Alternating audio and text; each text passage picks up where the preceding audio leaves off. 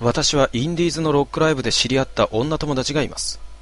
ライブで二人揃った時は、ツートップダンサーズよなどと言いながら、一番前でガンガン踊っていました。そんな馴染みのライブハウスでしたが、3階は昔ダンスホールだったらしいのですが、ミラーボールのようなものが天井からぶら下がり、倒れたテーブルや椅子はそのままで埃をかぶっていて、荒らされた部屋は放置状態。なので、見た目は廃墟同然。ガラスのドアから中を覗くと、絶対いる雰囲気。ある日の夏、別の友達と同じライブハウスのアコースティックギターのライブに行った時のこと。その日はそれほど冷房がきつくもなかったのに、途中からものすごい寒気がして、私は持ってきた長袖を着て、隣の100均で靴下を買い、なるべく体から熱を逃がさないようにずっと体育座りをしていました。ファンの、ファンの久しぶりのライブなので、最後まで我慢して聴いていました。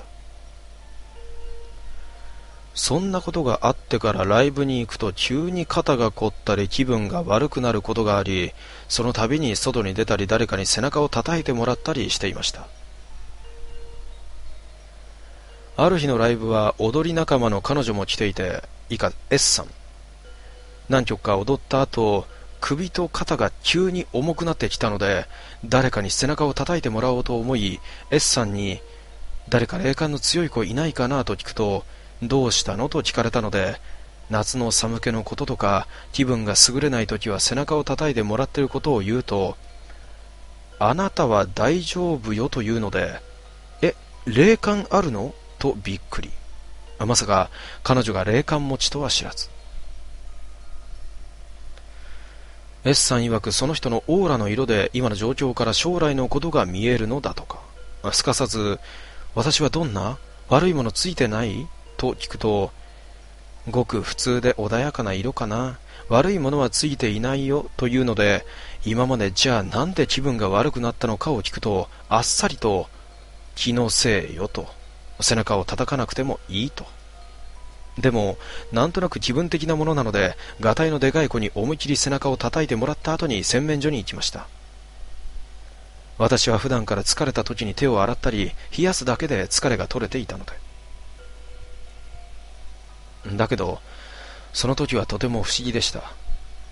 洗面所に行って顔と手を水で洗うと、今までの肩や首の痛みが嘘のように消えていて、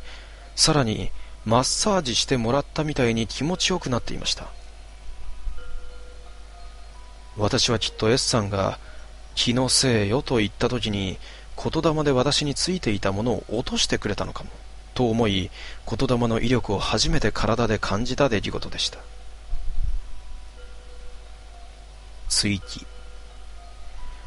そんな S さんと S さんのファンのバンドボーカルのこの夢を初めて見た後に S さんとは喧嘩して1年会わずそしてボーカル君は今現在病気で在宅治療していてバンドの世界に戻ってこられるかもわからないそうです。